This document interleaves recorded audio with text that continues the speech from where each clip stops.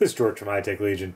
It's kind of surprising that over the last couple of years, we've seen a lot of coolers with very, very specialized applications, you know, small form factor uh, applications.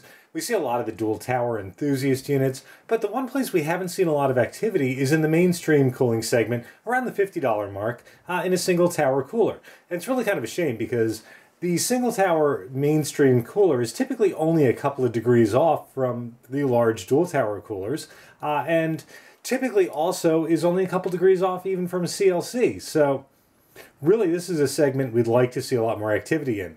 And after the release of the R1 Ultimate and the C1, that's exactly the segment that Cryorig is going after now with their brand new H5 single tower CPU cooler.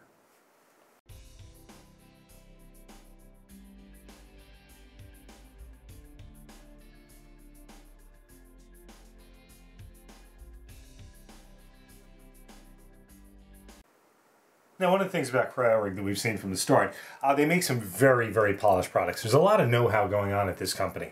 Um, they've obviously got, you know, even though they're an upstart company, uh, whoever's behind it really has a lot of know-how in what's going on with cooling. Now, taking a look at the H5, uh, retail price on it is $49.95, so definitely priced right for the mainstream. Take a look at the packaging, really nice packaging from CryoRig. You get, you know, the exploded look of uh, the cooler itself, along with, you know, just a little bit of um, a blurb down the bottom, designed for high efficiency with, you know, the X140 fan. Moving around the side, again, just a couple of the features laid out, extreme efficiency, fine-tuning cooling capacity, zero interference with RAM compatibility. Now this has become a big deal, obviously, and uh, the H5 has no RAM interference whatsoever. If you're using it on an 1150 series, chipset or on an AMD AM2, AM3 uh, setup, you're not going to have any of the RAM slots blocked. And five-step easy installation. CryoRig's installation really is second to none. Uh, Noctua definitely comes close. If not, you know, say, you know, you can't say one's better or one's worse, but uh, CryoRig's really got it down. Definitely the best in the industry. A couple of quick specs on it. Stands 160 millimeters tall, so keep an eye on that. 98 uh, millimeters wide, or I should say deep by 143 wide, 853 grams with the fan, and 700 grams without the fan.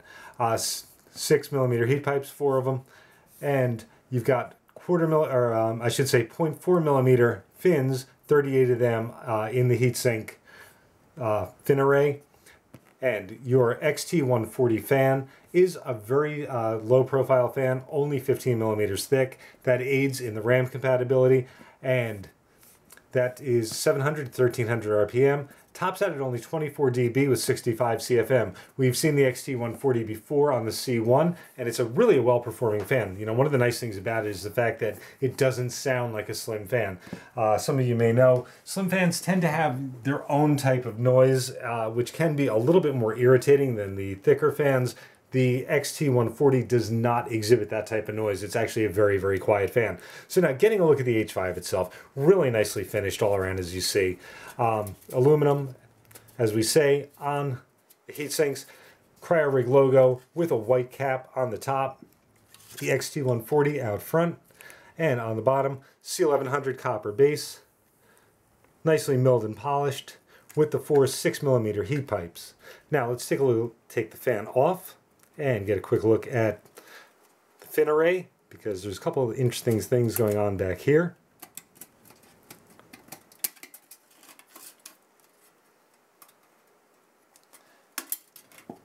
One of CryoRig's big theories is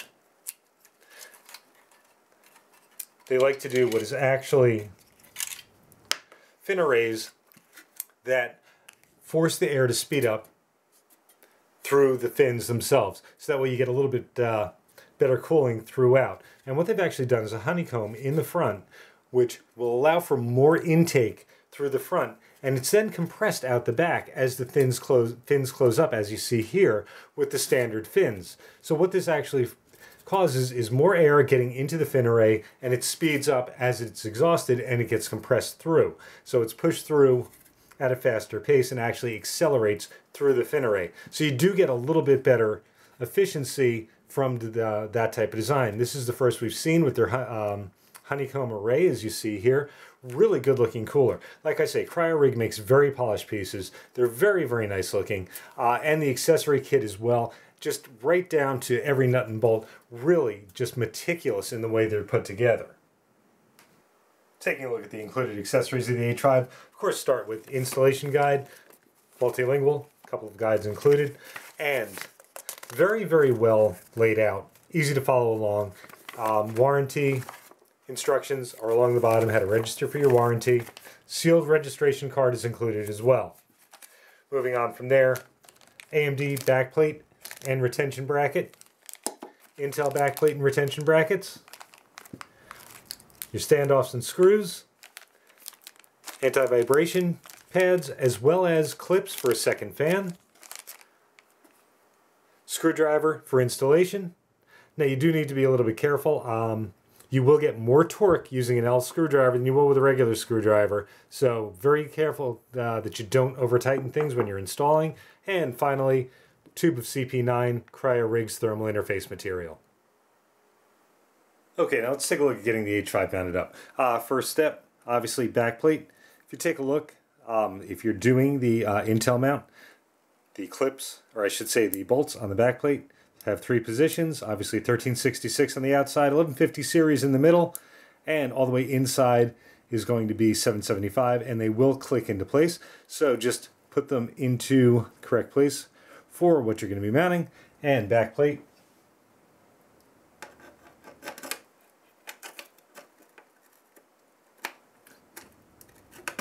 Will go into place, and you see the four bolts coming through.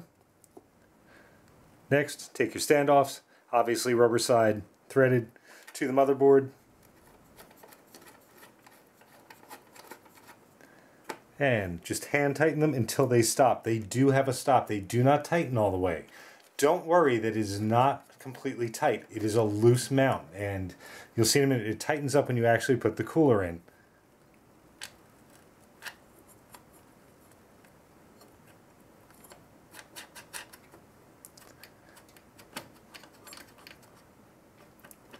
Say, you just want them hand tight. Only screw until they stop.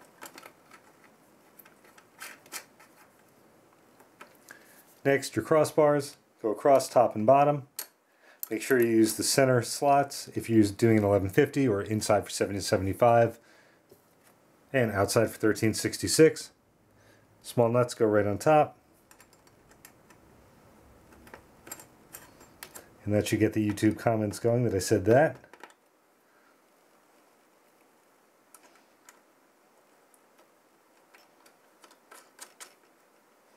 Once again, they do have a stop. And repeat on the bottom again, making sure you want it theoretically pointing to the inside. So you want the bar closer to the CPU.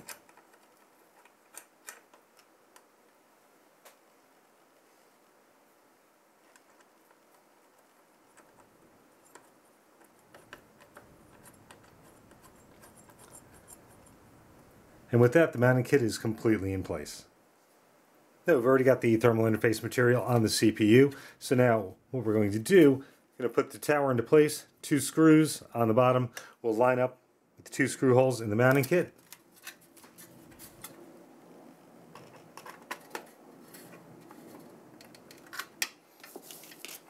Go right in through the top with the included screwdriver.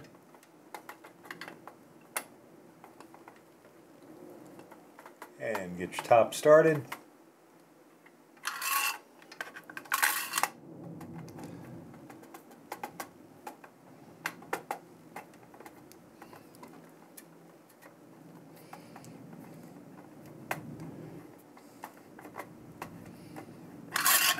And you can just go back and forth until you're fully tight.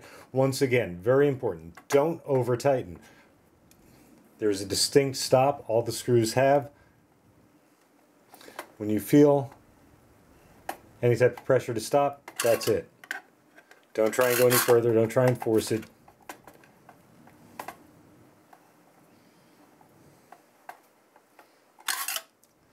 And you're done. Plug in your fan. And the H5 is installed. As you see, really good looking cooler in the case. Really nice, especially the white top uh, with the white Phanteks sent uh, Luxe. Really great look. And does not block the RAM slots whatsoever. No impedance at all. RAM slots are completely clear on an 1150 uh, series board. Um, once again, also on 1360, or I should say 2011 board, you're going to have the same situation. No interference in the back either. So absolute full RAM compatibility from the H5. Moving into the performance of the CryoRig H5, uh, taking a look here at CPU stock clocks, 4770K, we see that the CryoRig H5 is holding its own with some very heady company. Um, the Noctua and Phanteks, both more expensive, uh, as is the Macho Zero. Also, the uh, Phanteks is a dual fan cooler and runs quite a bit louder than the H5. But the H5 is keeping up with these coolers without a problem, and these are the best coolers in this type of price range and in this class. But now moving on, and we're going to bump it up to 4.4 gigahertz, 1.21 volts, give it a nice little overclock there in the 4770K, and the CryoRig stays right there with uh, the other coolers, which, like I say, are a little bit more expensive. Uh, very, very solid performance here, and it stays nice and quiet at 36 dB. Uh, that is a little bit louder than the Noctua, but substantially less than the 12DX, and substantially less noticeable than the 12DX, that's for sure, uh, from outside of the case. Um, the 12, the Noctua NH-U12S, I should say, uh, definitely different tonality, not nearly as noticeable as the CryoRig H5, even though uh, the dB difference is very, very minimal. The H5 definitely has a different tonality, which makes it a little bit more noticeable outside the case. But all in all, performance excellent uh, throughout and definitely keeps up with, like I say, the best of the best in its class. To date, everything we've seen from CryoRig has been uh, really incredibly impressive, and the H5 is certainly no exception. The H5 uh, has a very pointed audience, obviously, $50 price tag, and you're looking at full RAM compatibility, you know, using a slim fan. And the H5 does a really nice job. At uh, the $50 mark, it keeps up with the best coolers at that price point uh, as far as performance, and even you know keeps up with the Noctua NH-U12S as far as performance, which runs a little bit more money. Now, as far as the cooler itself, I mean, like I say, the desi- the engineering and execution are absolutely flawless. It's a great looking cooler, very well engineered, very very well put together. You know, you can't find a flaw on the unit. And CryoRig, like I say, also uses what's probably the best mounting kit out there. Um, nothing is going to be easier than putting in a CryoRig cooler, and the H5 is included in that. And really everything just goes very very smoothly from start to finish. Now as far as the performance like i say it does pretty much keep up with you know the Phanteks uh, 12dx and the noctua NH-U12S but really doesn't do anything as far as you know blowing them away or anything. Um, doesn't outperform them. You know, it's right there in the mix. The one thing I will say though, however, it is a little quieter than the 12DX. It's a little bit louder than the Noctua NH-U12S, but um, the tonality of the slim fan is a little bit more intrusive than uh, we get from the thicker fans. Uh, so even at a lower uh, decibel rating, like I say, a little bit more intrusive. So it's a really, really solid choice. And, you know, especially at low RPM, it's just about dead silent. And if you're using a case that's, you know, not uh, open ventilation, it's going to be just about dead silent. Overall, I'm going to give the CryoRig H5 a HiTech Legion Gold Award. Incredibly solid performance, flawless installation, and you know, beautifully executed piece. So HiTech Legion Gold Award for the CryoRig H5.